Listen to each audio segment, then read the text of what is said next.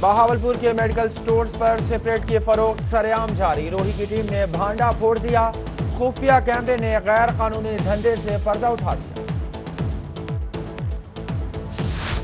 Separate کی غیر قانونی فروخت کا معاملہ۔ کیمسٹ کے مطابق سپریٹ ڈاکٹرز کے نسخے اور مریض کی حالت کے مطابق فروخت کی جاتی۔ ہے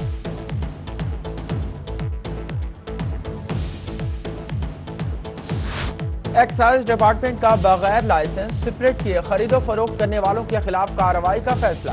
ڈویژن بھر میں ٹیموں کو کارروائیاں کرنے کی ہدایات جاری۔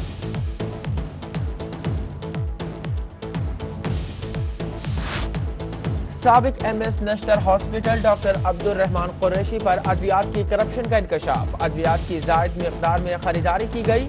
انکوائری کمیٹی کا سابق ایم ایس کے خلاف سخت انکوائری کا حکم۔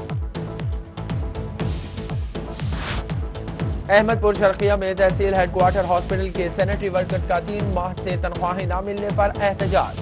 سینیٹری ورکرز کے کام چھوڑنے سے ہاسپٹل میں گندگی پھیلنے لگی، مریض پریشان۔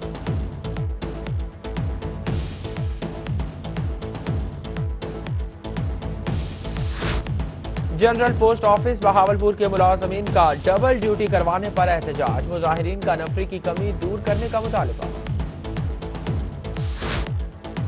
تبدیلی سرکار کا ڈسٹرکٹ سپورٹس انتظامیہ ملتان کو جھٹکا۔ بیس سے زائد ڈیلی ویجز ملازمین کو فارغ کر دیا۔